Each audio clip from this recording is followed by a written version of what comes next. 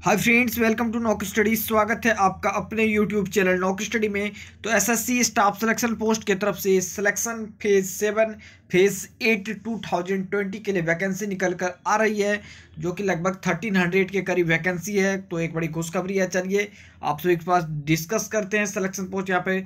आप देख सकते हैं, डाउनलोड करने के बाद ये पीडीएफ खुल रहा है, जहाँ की advertisement number phase eight two thousand twenty selection post के लिए वैकेंसी है। और date for submission of online application twenty one February से स्टार्ट हो रहा है जो कि बीस मार्च तक चलेगा और लास्ट डेट है। बीस मार्च तक को लास्ट डेट है up to twenty three fifty nine P M और last date for making online fee payment है ट्वेंटी थर्ड मार्च और last date for generation of offline challan twenty third March है। इस प्रकार से last date for payment through challan during working hour of bank twenty five March है। और date of computer based examinations जो है वो ten June two thousand twenty से twelfth June two thousand twenty तक है। और आगे देख सकते हैं government strives to have a work force which reflects gender balance and women candidates are encourage to apply यानी कि यहाँ पे ओमेन कैंडिडेट को इनकरेज किया जा रहा है अप्लाई करने के लिए। डब्ल्यू इसकी ऑफिशियल वेबसाइट है, जहाँ से आप डाउनलोड कर सकते हैं। और अप्लाई भी यहीं से कर सकते हैं, इसी वेबसाइट से। और डिटेल डिस्क्रिप्शन भी आप डाउनलोड कर सकते हैं। आगे देख सकते हैं candidates on seeking fee concession age relaxation reservation T तो एस सी एस टी का सर्टिफिकेट जो बनवाना पड़ेगा ओ और ई एस के लिए भी। यानी कि cell note because the crucial date for submitting the income and asset certificate by the candidate may be treated as the closing closing date for receipt of online application date is twenty March two thousand twenty यानी कि आपको जो भी certificate है E W S O B C S C S T बीस मार्च तक आपको तैयार करना है और यहाँ पे देना भी है। सेंट्रल गवर्नमेंट सिविलियन एम्प्लॉयज़ के लिए इंस्ट्रक्शन दिया गया है और नीचे आप देख सकते हैं फॉर पर्सन विथ डिजेबिलिटीज़ के लिए भी डिस्कशन दिया गया है और special instruction for P W D candidate के लिए दिया गया है। टाइप ऑफ़ डिजेबिलिटी के बारे में डिस्कस किया गया। नेशनल नेशनलिटी है और citizen of India Nepal Bhutan सभी के लिए है। एज लिमिट यहाँ पे एस सी के लिए फाइव ईयर का छूट दी गई है और ओबीसी के लिए थर्ड तीन साल की पीडब्ल्यू डी के लिए दस साल की इस प्रकार से सभी को छूट दी गई है। फॉर ग्रुप सी पोस्ट जो लास्ट आने की एज क्रिटेरिया है up to forty years of age है, और सेंट्रल गवर्नमेंट एम्प्लॉय के लिए फोर्टी फाइव ईयर्स है, और थर्टी फाइव ईयर्स है डाइवोर्स के लिए विडोज़ के लिए, और फोर्टी ईयर्स है विडोज़ डाइवोर्स वोमेंस के लिए। तो इस प्रकार से सारा डिस्क्रिप्शन आप डाउनलोड करके पढ़ सकते हैं। एक्स सर्विसमैन के लिए भी दिया गया है क्रिटेरिया इसमें आपको टेंथ लेवल ट्वेल्थ लेवल और ग्रेजुएट लेवल तीनों लेवल की वैकेंसीज हैं, जिसके बारे में भी आगे हम बताते हैं।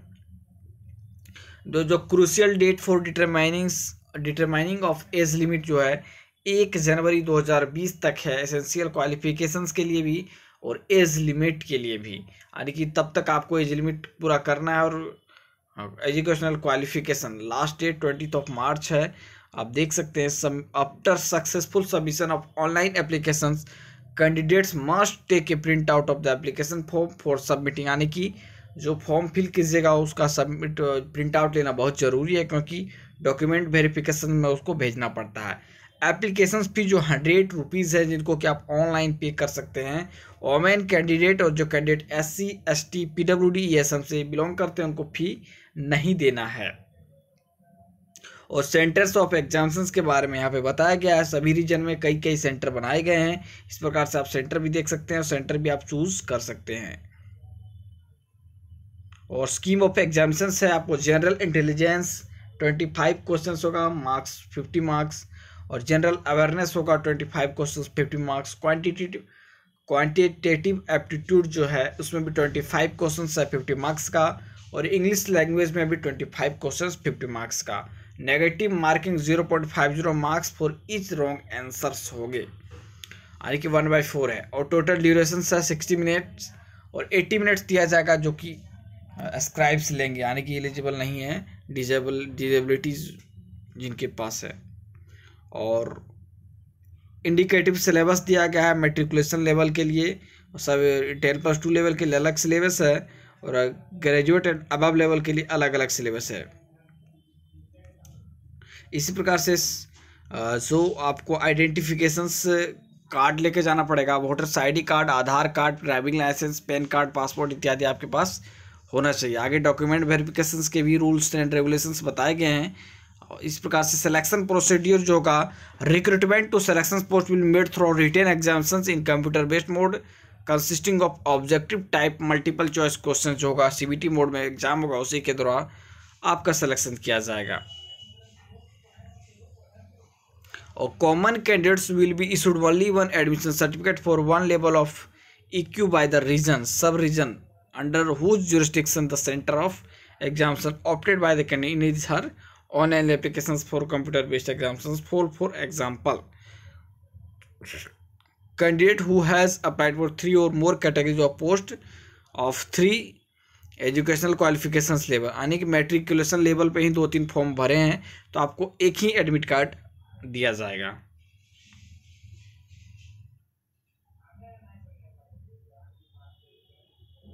यानी कि एक लेवल में आपको एक ही बार अप्लाई करना है और क्वालिफाइंग मार्क्स जो है कट ऑफ़ मार्क्स अनरिजर्व के लिए thirty five percent O B C E W S के लिए थर्टी परसेंट और अदर कैटेगरीज के लिए ट्वेंटी फाइव परसेंट इस प्रकार से कई कई जानकारियाँ हैं।